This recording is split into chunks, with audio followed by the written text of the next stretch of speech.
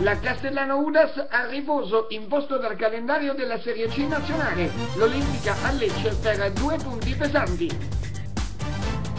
Dalla B2 donne alla D, passando per la C uomini. Libera Virtus, Pallavolo Cerignola ed Iposea Udas pronti a scaldare i cuori dei tifosi in un weekend imperdibile.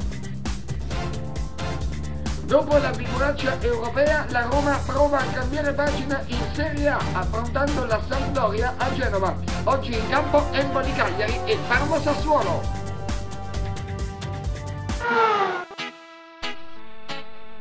Fine settimana per il basket eh, caratterizzato dal turno di riposo imposto dal calendario per la Castellano Udas e voglie di conferme per l'Olimpica Basket. Il campionato di Serie C nazionale disputa la sesta giornata del girone di andata senza i biancazzurri di Matteo Totaro. Dopo il KO della scorsa settimana ad opera dell'Andrea Pasca Nardò, l'esito della partita non è stato positivo. Certo è che il tracollo nella seconda parte di gara non è piaciuto. Ora si cerca di fare quadrato per cercare di preparare al meglio la trasferta di Napoli del prossimo 2 novembre. Per capire lo stato d'animo dei cannibali, Radio Sport ha intervistato in esclusiva il direttore sportivo della Castellano Udas, Carlo Mancini. Proprio la seconda parte del match è stata favorevole ai salentini. Noi siamo letteralmente crollati sia in difesa che in attacco ed in un campionato come questo non ci si può permettere di distrarsi nella maniera più assoluta. Se avessimo avuto la giusta mentalità della prima parte, di certo avremmo portato a casa i due punti. Il turno di riposo non ci voleva proprio, volevamo essere in campo per essere sul pezzo alla pari con i nostri avversari e giocarcela per portare a casa la vittoria.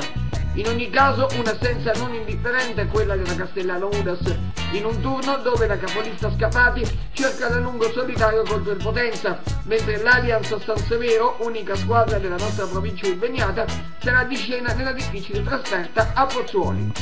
La terza giornata del campionato di Serie C regionale propone oggi per l'Olimpica Basket la trasferta contro la 3G Lecce. La formazione di Antonio Russo, dopo la sofferta vittoria in rimonta contro l'Adria Bari, si vedrà costretta a schierare ancora un quintetto in emergenza e per Andrea Colapietro stagione finita. Il nostro giornale ha intervistato uno dei volti nuovi, Castoro, che spiega come affrontare i salentini. Il Lecce è molto diverso rispetto alla stagione precedente, gioca a ritmi molto elevati e noi dobbiamo mantenere alta la concentrazione, cercando di non ripetere gli errori che abbiamo fatto al Vieste. Vincere forte entusiasmo ed è ciò che vogliamo fare partita per partita, cercando di non deludere la nostra tifoseria, lavorando sui meccanismi di gioco per trovare una ottima intesa tra i reparti.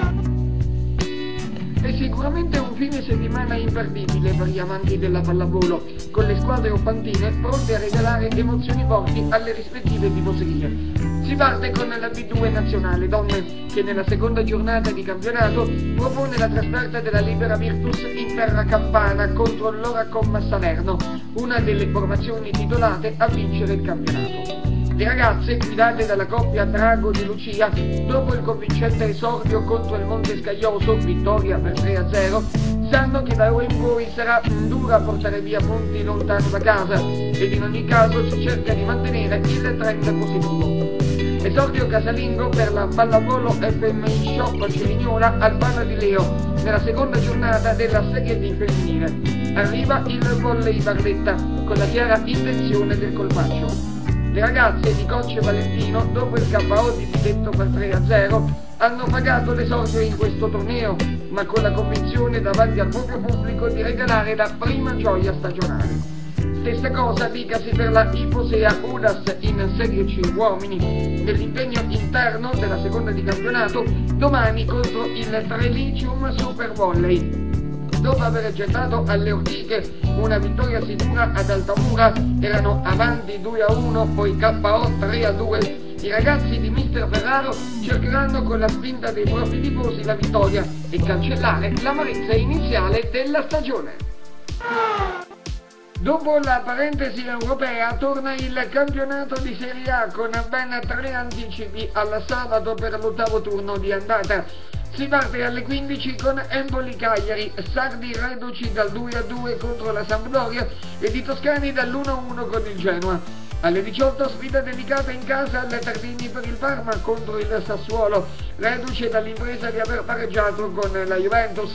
Infine alle 20.45 la Roma dopo il 7-1 in Champions League ad opera del Bayern Monaco cerca i tre punti a Marassi contro la Sampdoria.